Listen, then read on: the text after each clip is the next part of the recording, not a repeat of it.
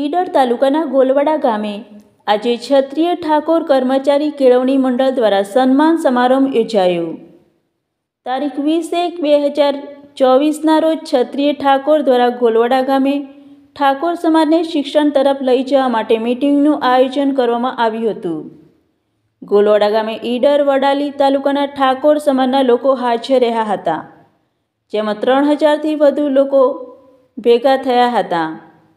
મુખ્ય મહેમાન સંત શિરોમણી પરમ પૂજ્ય શ્રી દૌલતરામ મહારાજ તથા ઠાકોર સમાજનું અણમોલ રત્ન અને લોકલાડીલા ફિલ્મ સ્ટાર અને ગાયક સુપરસ્ટાર વિક્રમ ઠાકોર પણ હાજર રહ્યા હતા.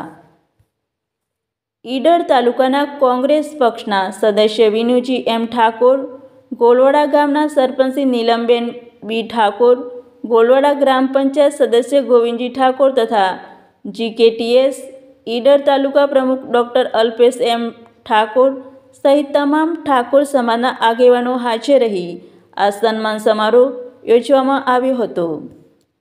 વિક્રમ ઠાકોરે ઠાકોર સમાજને જાગૃત કરવા માટે સમાજલક્ષી ગીતો પણ ગાયા હતા.